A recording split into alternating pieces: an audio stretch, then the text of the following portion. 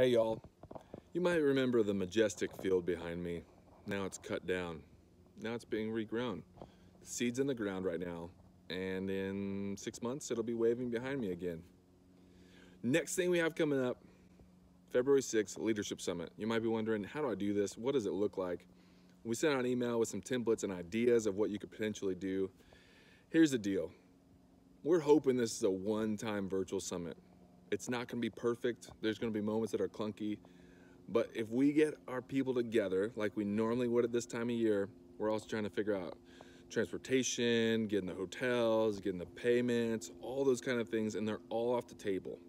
So it's a low entry to say, who can we get to potentially be a part of things? Who can we get that we just have a conversation started with? We're hoping this time is a time that we talk about Jesus. We're hoping this time is a time that we talk about really just that, actually, just Jesus. Just what Jesus can do, is doing, and, and was doing, and will continue to do. So there's some things that we got to think about. Here's the deal the schedule. There's a general session in the morning.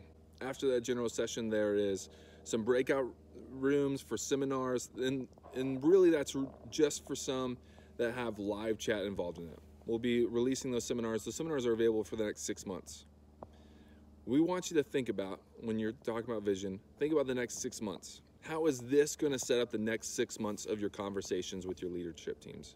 How is this going to help you set up conversations to, to meet with kids, be with kids? So we got that.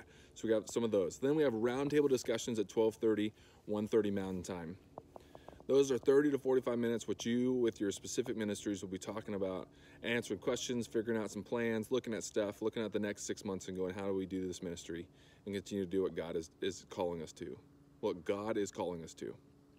Then that night, 6.30, 7.30 Mountain Time, we're going to have a little bit more of a session, and then we're going to just have some fun with some trivia. Invite your people on. The best thing we can do is the opportunity to invite some people on.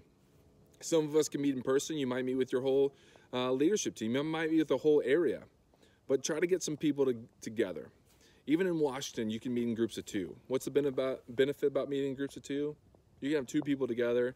You can cast the vision of a question and say, hey, the two of you answer it right now.